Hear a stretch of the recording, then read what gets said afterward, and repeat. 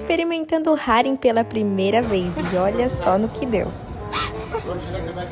Hum, cara dele. Cara, ok? ah, achei bom. Assim, não foi meu melhor peixe da vida, mas foi um bom peixe. Brixa.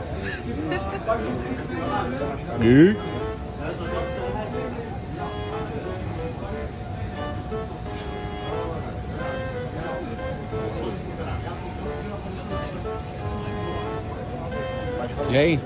De 0 a 10. Tá crescendo na boca, ó. Tá grande, tá grande. Eu acho que se eu não se eu comer esse picadinho assim, sem ver esse rabo, eu acho que eu comeria tranquila. Agora olhando aqui.